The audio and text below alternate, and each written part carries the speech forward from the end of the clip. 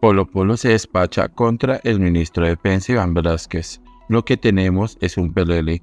Miguel Polo Polo se refirió a la extorsión, al secuestro y a los asesinatos de líderes sociales. En medio del programa Viking Semana, representante de la Cámara Miguel Polo Polo arremetió contra el ministro de la Defensa Iván Velázquez. El congresista se refirió a las razones que motivaron las marchas de este miércoles 16 de agosto en contra del gobierno de Gustavo Petro. Una de ellas es el tema de la inseguridad que atraviesa el país. Hoy en Colombia no hay ministro de defensa, esa es una realidad.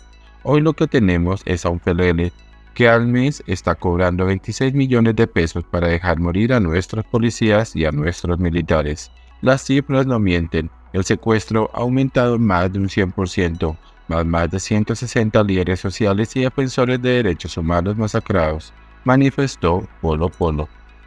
En esa línea, el representante cuestionó dónde están figuras como David Racero, María José Pizarro, María Fernanda Carrascal y toda esa izquierda que en el gobierno de Iván Duque salía con camisetas y pancartas que decían, nos están matando, se hacen los sordos, los ciegos y los mudos. La extorsión, ni hablar de ella, es la mayor en más de 10 años.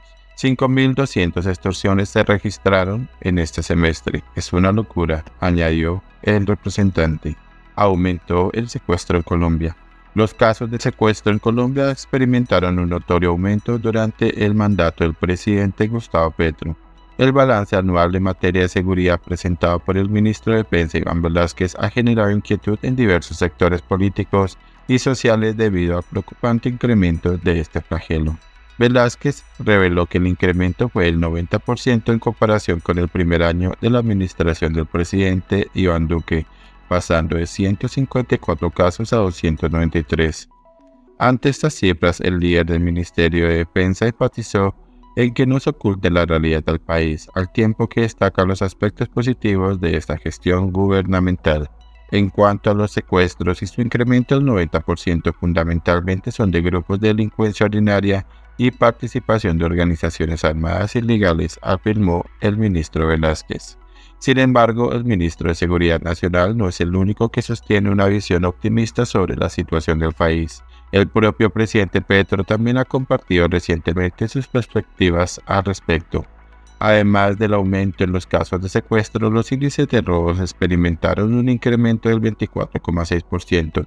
Por otro lado, se registró una disminución del 1.6% en los homicidios, pasando de 13.151 a 12.945, mientras que los casos de extorsión se incrementaron en más del 100%.